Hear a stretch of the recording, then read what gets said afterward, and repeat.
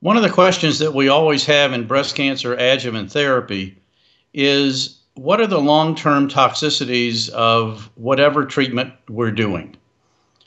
When the ATAC trial was reported in about 2005, it showed that the aromatase inhibitors were somewhat better than tamoxifen in postmenopausal women as far as decreasing their long term risk of distant recurrence. That benefit, however, was relatively minor at 3 to 4 percent and in fact, the latest update of the ATAC trial at about year nine did not show any survival benefit comparing the aromatase inhibitor arm to the tamoxifen arm. One of the worries with the aromatase inhibitors is that, as opposed to tamoxifen, aromatase inhibitors are mildly anti bone. Probably less so than its reputation, but it's something that we all worry about. We often or will always do a bone density at about the time we start aromatase inhibitors, and we'll follow the bone density every couple of years.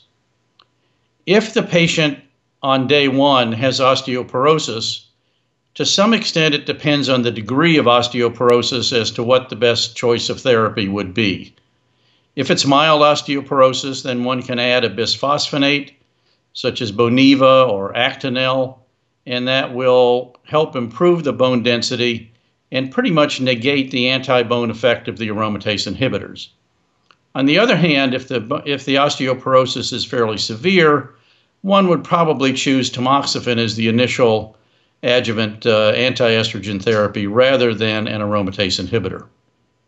We would also plan to follow the bone density every couple of years and obviously adjust any bone therapy to any change in the bone density.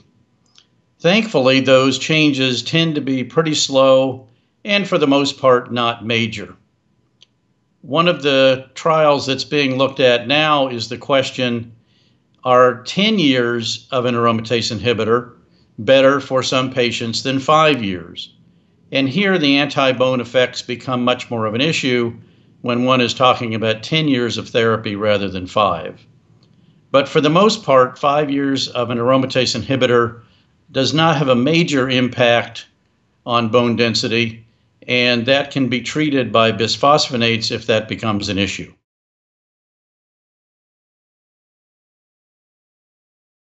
Hi, I'm Dr. Jay Harness, and I want to share with you important information that I believe that every newly diagnosed patient with breast cancer needs to know.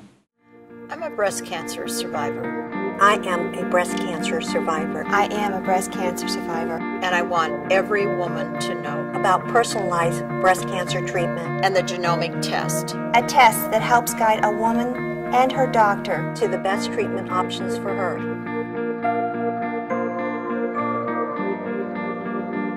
Pass it on.